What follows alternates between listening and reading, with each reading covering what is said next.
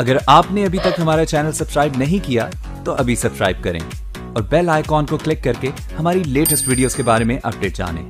Subscribe कीजिए और हम आपको लिए चलेंगे आपकी फेवरेट वीडियो की तरफ़। नमस्कार दोस्तों एशियन गेम्स के पहले ही दिन पहलवान बजरंग पुनिया ने भारत की झोली में पहला गोल डाला। बेहतरीन प्रदर्शन करते हुए पुनिया ने पैंसठ किलोग्राम फ्री स्टाइल कैटेगरी में जापान के दाइजी ताकातानी को 11 आठ सेकंड हराकर गोल्ड देश के नाम किया। बजरंग ने इंचियोन 2014 में खेले गए एशियाई खेलों में सिल्वर मेडल अपने नाम किया था। इस बार वह अपने पदक का रंग बदलने में कामयाब रहे। ऑस्ट्रेलिया में इसी साल आयोजित कॉमनवेल्थ गेम्स में गोल्ड जीतने वाले बजरंग ने पहला दाव ही टेक डाउन खेल और सीधे छह पॉइंट हासिल किए। इसी बीच जापानी खिलाड़ी ने दो अंक लिए।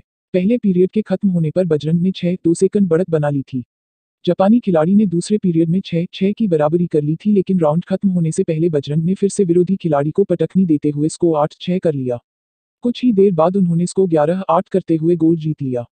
गोल्ड मेडल के इस बाउट से पहले में बजरंग ने उज्बेकिस्तान के खासानोव सिरुजुद्दीन, तजिकिस्तान के फेजेव अब्दुल कोसिम और मंगोलिया के बादचुलुन बातमागनाई को हराया।